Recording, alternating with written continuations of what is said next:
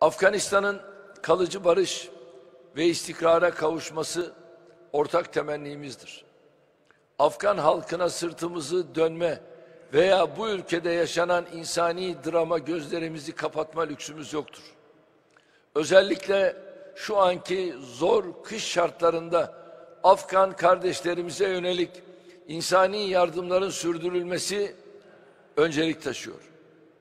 Kendi payımıza köklü ilişkilere sahip olduğumuz Afganistan'a ve Afgan kardeşlerimize elimizden gelen desteği ve yardımı sağlıyoruz.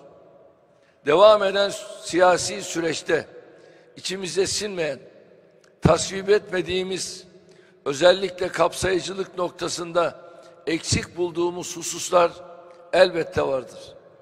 Bu konudaki tavsiye, fikir ve eleştirilerimizi çok net biçimde kurumlarımız aracılığıyla muhataplarına iletiyoruz. Afganistan'ın tekrar kaosa, kargaşaya ve çatışmaya sürüklenmemesi için gayretlerimizi devam ettiriyoruz. Ne yapıyorsak Afganistan'la beraber bölgedeki tüm kardeş ülkelerin huzuru, istikrarı ve esenliği için yapıyoruz. İslam dünyasının da insani yardımların ulaştırılması başta olmak üzere bu konuda daha aktif bir dayanışma içinde olması gerekiyor. Afganistan'daki gelişmelerin göç akını riskini artırdığı malumunuzdur. Hali hazırda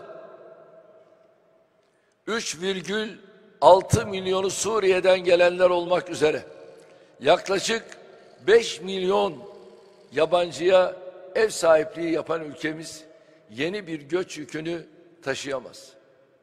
Benzer zorlukların teşkilat üyesi diğer ülkeler için de geçerli olduğunu biliyoruz. Esasen göç ve mülteciler meselesinde asıl yükü sesi çok çıkan batılı ülkelerden ziyade kriz bölgelerine komşu bizim gibi ülkeler çekiyor. Birleşmiş Milletler rakamlarına göre yüksek gelirli ülkeler bin kişi başına ortalama 2,7 mülteci buna karşılık orta ve düşük gelirli ülkeler ise 5,8 mülteci barındırıyor.